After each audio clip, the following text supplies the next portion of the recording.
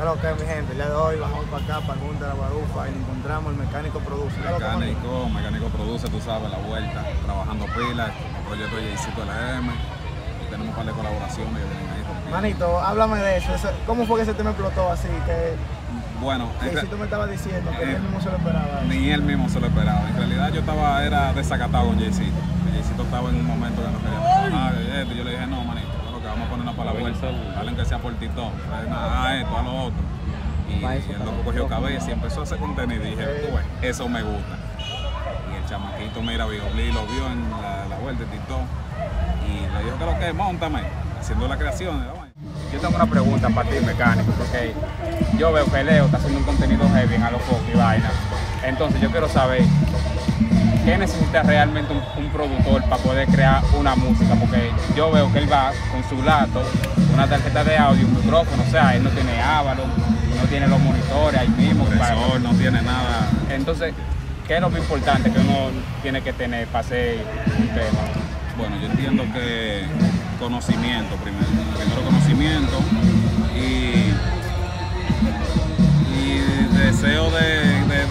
digo yo, ¿sabes? Pero yo creo que con el, con el conocimiento basta. Ya yo manejo los programas, ya tírate lo que sea, di hola, hola, hola, y por ahí le digo, ¿tú me entiendes? Es lo que digo, nosotros los productores urbanos dominicanos eh, fuimos de esa manera, o sea, es lo que hacemos, podemos hacer hasta bachata, ¿tú me entiendes? Podemos hacer cualquier género pero yo creo que ya con la computadora, el micrófono y una bocinita para escuchar lo que uno está haciendo, uno rompe.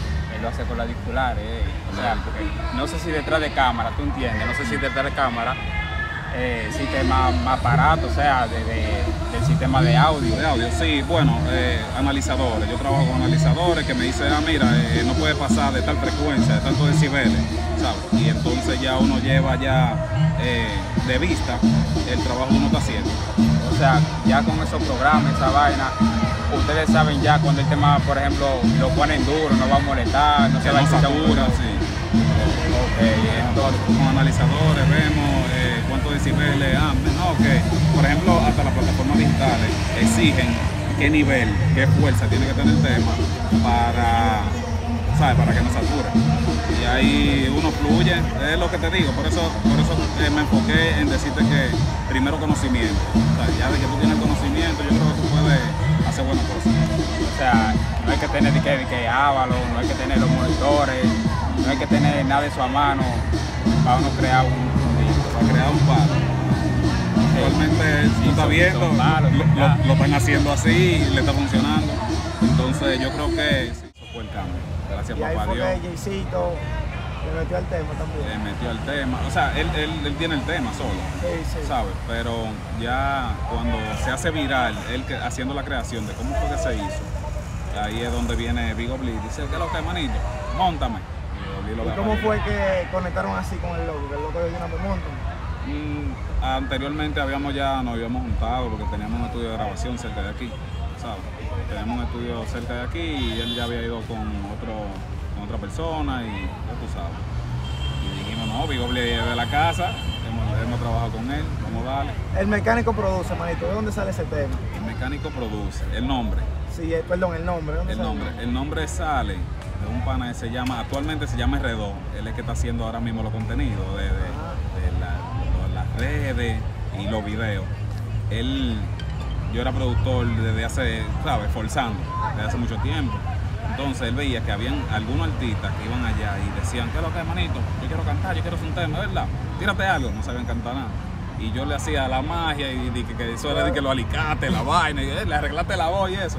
Dije mecánico. Y por ahí se fue el mecánico. Mecánico produce, me he quedado con eso, ese es mi nombre. Manito, también estuvimos hablando. Tú fuiste uno de los que creó el tema teteo. Ah, sí, nosotros en la pandemia Sí. estábamos trabajando con un chamaquito ahí, hicimos eh, Dale Teteo, Dale gracias Teteo. Papá Dios, la aprendimos con esa.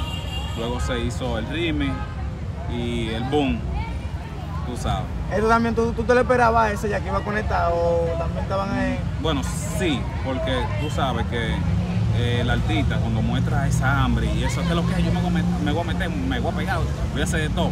¿Tú me entiendes? Tú ves, el chamaquito está como en eso. Y si tienen esa vibra, prenden. Eso es seguro, eso no falla.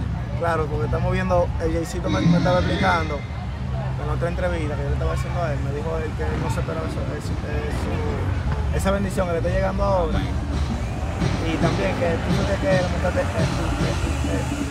le tiro la Tú voz, le tiro la todo, voz, eh. sí, yo le hago de todo. al- Para el que no lo sabían, hay que hacer. eh, eh, eh, Le tiro la voz, yo hago...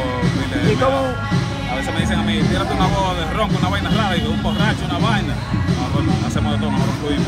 ¿Y cómo fue eso, manito? De, ¿tú eres- ¿Anteriormente te has montado música varios artistas o es la primera vez que tú haces eso? No, ya yo he trabajado con. Pongo ahora para decirte, mira, nosotros hicimos un proyecto internacional con la Queen.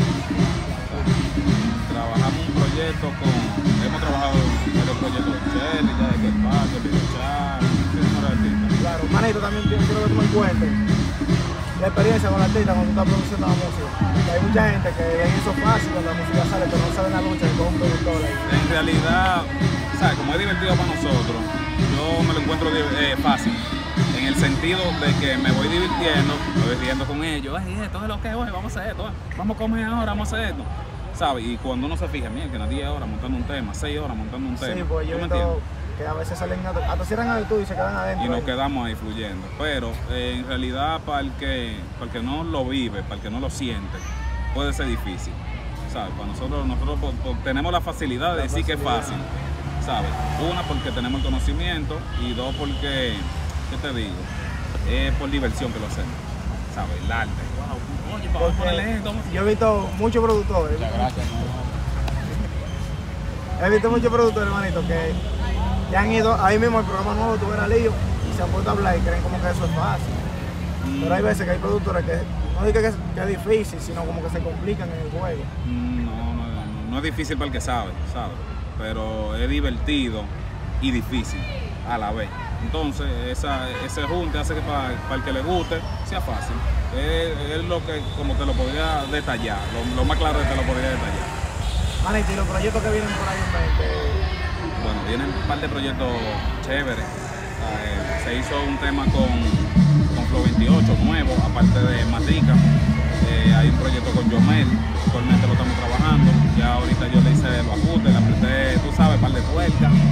Y vienen un par de proyectos, proyectos ahí, vienen un par de vainitas sorpresa también que vamos a romper con ese último así es, mi gente, ustedes saben que Primani TV, donde Mecánico produce. Ya tú sabes, brother, un placer.